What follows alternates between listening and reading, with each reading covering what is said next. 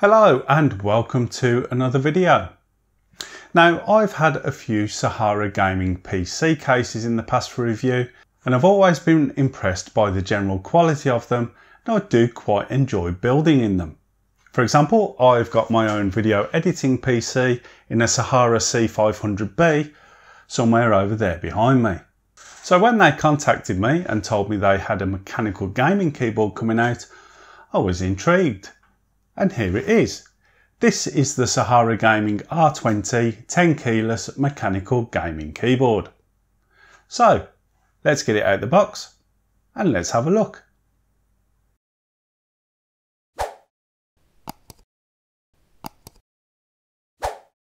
So in the box you get the keyboard itself, a keycap puller, a switch puller, and a user manual.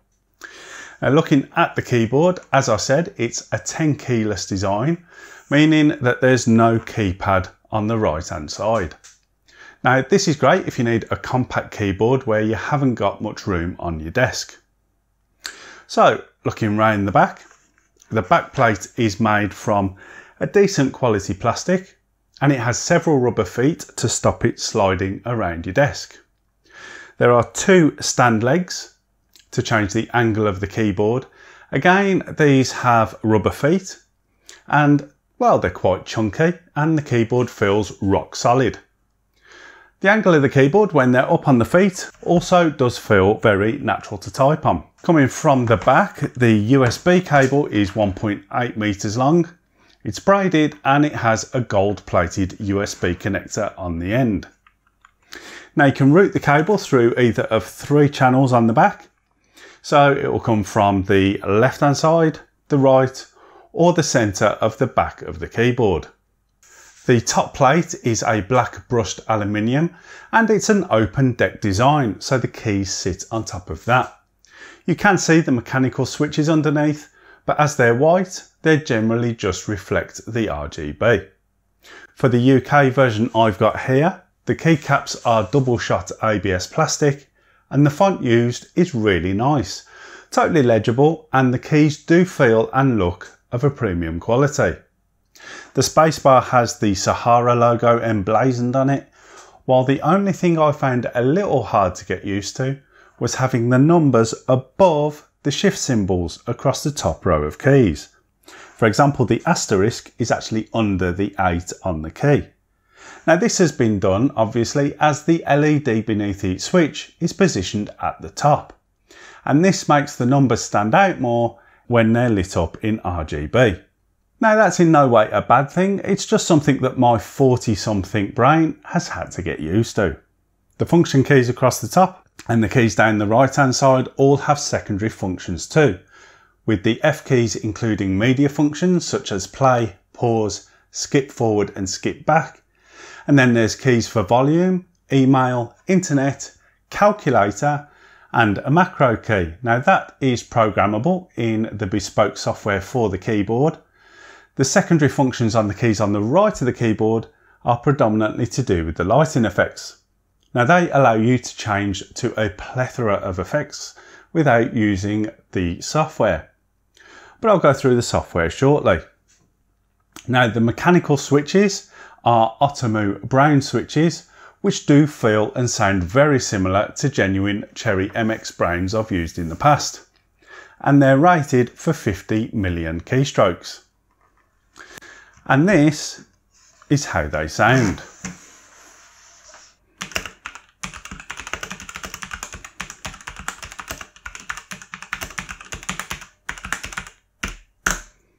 Both the keys and switches on the keyboard are removable and replaceable. The keys come away quite easily with the supplied keycap puller.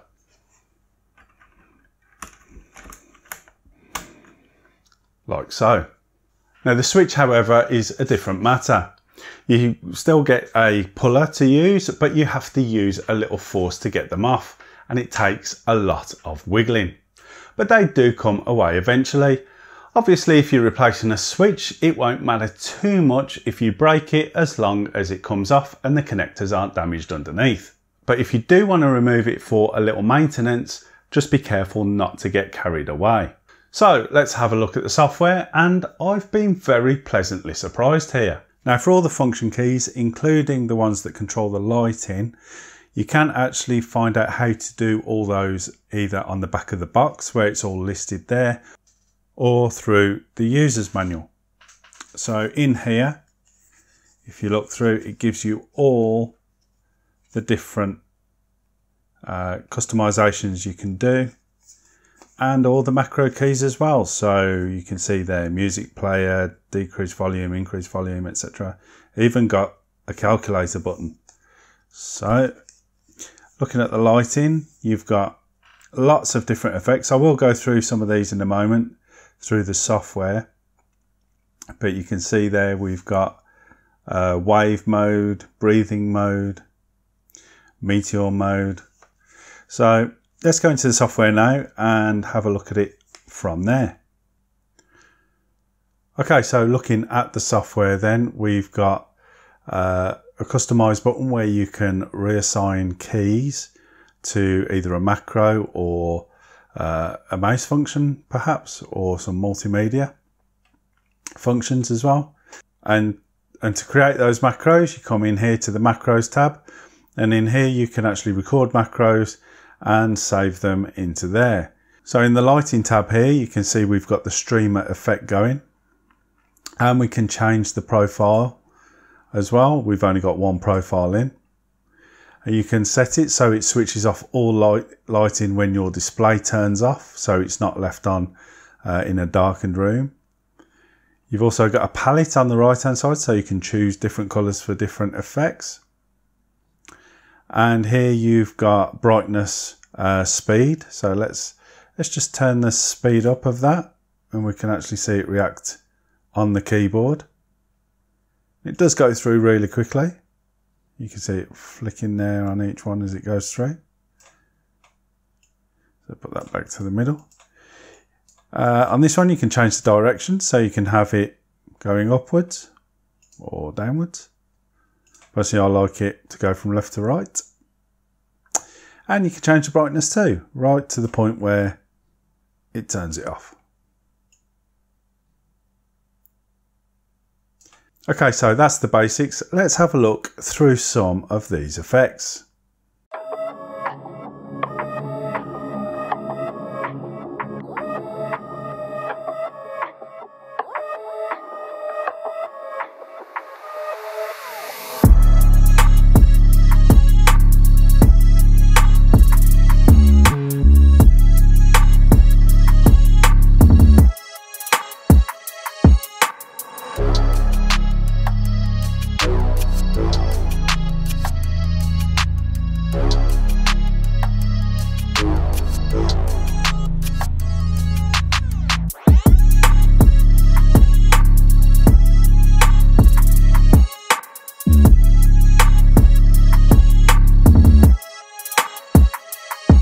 Now just stopping at this one, the reactive one, if I press a key, it then lights up in a different colour each time.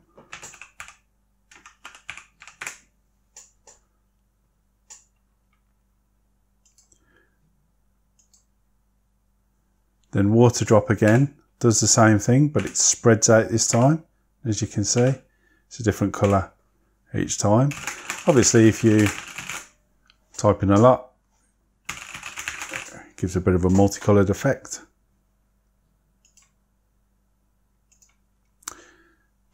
Cross again does same thing.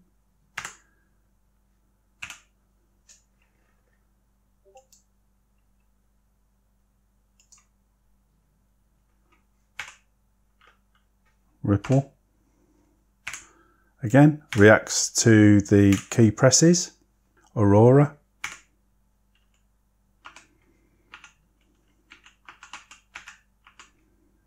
Goes across.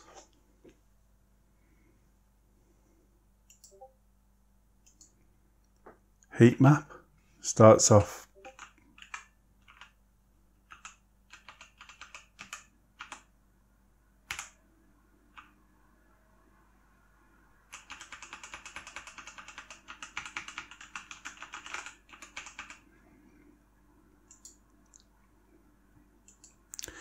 And then you can have custom ones as well. So if I choose a letter, I can put that to a specific color.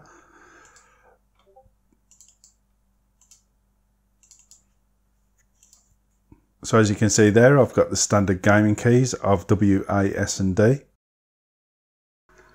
So the custom mode also has templates.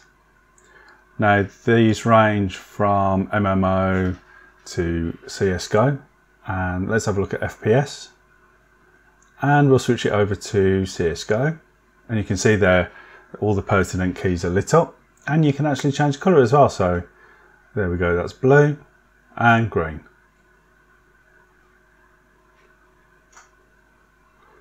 Okay moving now to radar and as you can see that's uh, multicolour radar going through. And radar 2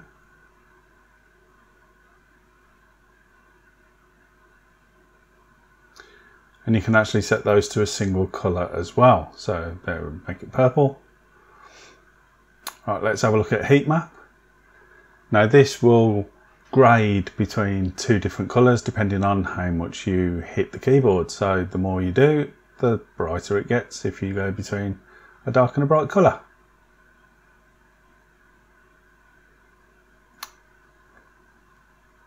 and rain looking at rain again you can set that to an individual color or you can put it onto full color. And so if you want it just one color, go to static, turn off full color, and then you can choose whichever color you want to have it. And it's really nice. The RGB does look good. It doesn't shine all the way through the keys, obviously with them being black, but it does come around the sides as well. So in summary, the Sahara Gaming R20 keyboard has really impressed me. From a relatively new company that to date has been specialising in PC cases, they have really hit the nail on the head with the R20. Now the price point is around £50 and I think that's pitched about right. In fact, I'd be tempted to pay a little bit more for it. The quality and features are definitely on point and the software does work really well. All in all, I'd give the Sahara Gaming R20 mechanical keyboard a big thumbs up and I would love to see a full-sized version with a keypad. So I'll leave links to the Sahara Gaming R20 in the description below so you can check one out for yourself. Thanks to Sahara for sending it in for review. But I also want to say a huge thanks to my current patrons and I'll leave links to my Patreon account in the description too, where you can donate and join these lovely people in supporting the channel. And speaking of supporting the channel, why not pop along to our Teespring store and check out our cool merch like the t-shirt I'm wearing in this video. Don't forget to give this video a like if you liked it. Got loads more videos coming very soon. Best way not to miss any of those is to subscribe below it doesn't cost a thing, and if you click the bell notification icon, then you'll be told every time I upload a new video. Speaking of new videos, why not watch one of our other videos on the left hand side of the screen right now. So, thanks for watching and I will see you later.